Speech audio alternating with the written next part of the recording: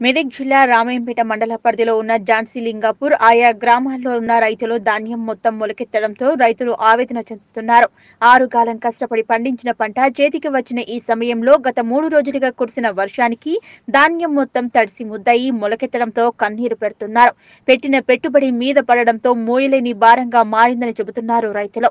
ప్రభుత్వం వెంటనే స్పందించి మొలకెత్తిన వడ్లను కొనుగోలు చేసి రైతులకు న్యాయం చేసి వారిని ఆదుకోవాలంటున్నారు. సమయానికి లారీలు రాక కొనుగోలు నిలిపివేయడంతో అకాల వర్షానికి ధాన్యం మొత్తం తడిసిపోయిందని మొలకలు రావడంతో మొలకెత్తిన ధాన్యాన్ని సైతం ప్రభుత్వం కొనుగోలు చేసి ఆదుకోవాలని వేడుకుంటున్నారు.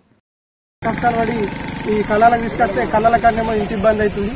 మరి కొని ప్రభుత్వం ఆదుకోగలరని మరి అలాగే ఈ మొలకొచ్చిన వడ్లు కానీ నల్లగా అయిన వడ్లు కానీ కలర్ వచ్చిన వడ్లు కానీ కూడా కొనాలని నేను ప్రభుత్వాన్ని కోరుకుంటున్నాను.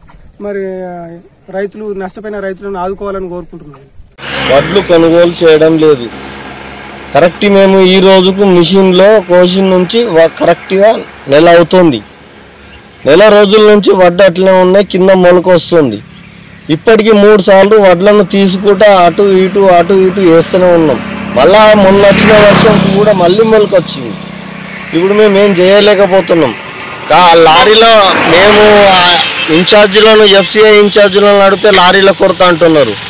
అక్కడ పోతే మళ్ళీ అన్లోడ్ అయితే లేవని అంటున్నారు. కానీ మాకు పరిస్థితి ఏంది? మా బాధ ఏంది? ఇప్పుడు తడిసిన అడ్లు కూడా మరి కంపల్సరీ కొనాలి.